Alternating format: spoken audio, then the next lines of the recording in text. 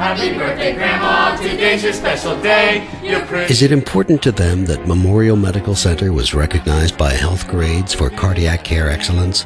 And that Memorial ranks in the top 5% in the nation for overall cardiac services? It's important, but what's most important is that the Conemaugh Heart Team has Grandma back to the life she loves. For cardiac care, what's important to you? Conemaugh Health System. Excellence. Every patient, every time.